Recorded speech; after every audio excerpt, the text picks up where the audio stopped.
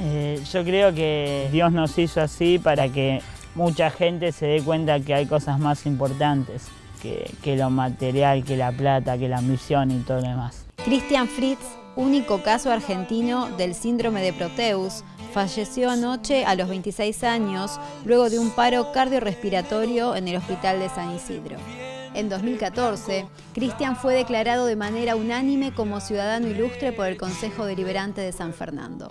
Soy una persona inquieta que lo único que quiere es mejorar la calidad de vida de cada ciudadano y, demostrar que las cosas no se hacen con promesas sino con hechos. El año pasado fue nombrado embajador de la paz, título otorgado por la organización Mil Milenios de Paz, que cuenta con el auspicio de la ONU y de la UNESCO. A pesar de su enfermedad, Cristian se recibió de periodista y cursaba la licenciatura en comunicación social.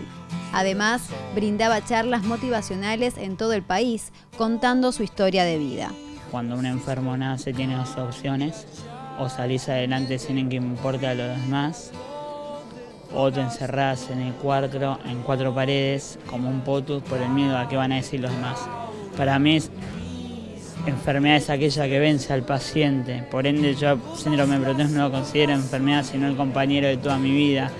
Lo que amo y lo que gracias a Dios y gracias a ese síndrome soy hoy y puedo disfrutar la vida. Todas las hojas son del viento,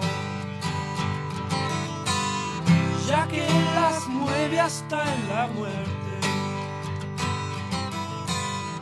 Un ejemplo ¿Se puede decir que era un ejemplo, Cristian? Sí, sí, sí. Sí, ni hablar, un ejemplo de persona, totalmente. Muy solidario, este, eh, no, excelente amigo, increíble. Eh, mirá, yo creo que la, enfrentaba con la mayor de la, eh, de la fuerza, ¿no? Eh, nosotros estuvimos el día sábado con él, comiendo unas pizzas y jugando un partido de fútbol y y la verdad que es terrible esto, una pérdida muy grande. Un dolor enorme, eh, el viernes hablé con él y estaría ya empezando a trabajar con nosotros como eh, coordinador de la, región provincial de desarrollo social, iba a estar eh, comprometido y él estaba feliz del nuevo cargo que iba a tener trabajando en la provincia de Buenos Aires y con un montón de garra y es un ejemplo para, para, todos nosotros, ¿no? un ejemplo de vida, así que la verdad que me voy con, ese recuerdo, con el entusiasmo que tenía de arrancar a, trabajar, así que una alegría enorme de, recordarlo de esa manera y, la verdad que un ejemplo de vida y, haberlo tenido en, nuestras vidas durante todos estos años es una bendición de Dios y le decimos eh, toda la fuerza a la familia, la verdad que es un momento, un día muy, muy duro para, para todos. Hacíamos radio en el Marín, en la radio del Colegio Marín, del grupo educativo recuerdo de, Cristian, ¿no? Este un ejemplo. Sí, un ejemplo. Siempre vamos a recordar la oportunidad que nos dio. Estamos muy agradecidos con eso y. Bueno, nada, Cuchi siempre vivió la vida. Quería actuar, actuó. Quería radio, hizo radio. Quería estar en la tele, estuvo en la tele. Hizo siempre. Pudo cumplir sus sueños. Eso es el mayor recuerdo que me queda. Mayor ejemplo. Hola, hola, ¿qué tal? Muy buenas tardes, ¿cómo andan? Soy Cristian Fritz, sí, volví de misiones, así que volvemos acá eh, a hacer desde el estudio Juan Batalla Sport Report del Grupo Educativo Marín, desde la región metropolitana norte de San Isidro. Superó todo, la verdad, con muchas expectativas, con mucha fuerza y siempre como que nos contagiaba esa fuerza y esa energía que tenía. Y como decía mi amigo Lucas, lo vamos a recordar así con las mismas ganas y te deja esa fuerza, esas ganas de seguir adelante. Cuchi hizo todo lo que quiso, no le importaba nada y lo hacía, hacía lo que quería, en sentido, con tal de ser feliz. Y esas ganas te las, contagia. Uno se acuerda de él y no puede dejar de pensar en el ejemplo. Absolutamente, simplemente el ejemplo de que contra viento y marea, puedes decir, un problema puede ser mínimo para mí, pero ¿cuál problema que se te venga a vos? Claro, te imaginas los problemas que tenía él, cómo los afrontaba él y los hacía parecer una cosa tan simple cuando era ni más ni menos luchar por su vida.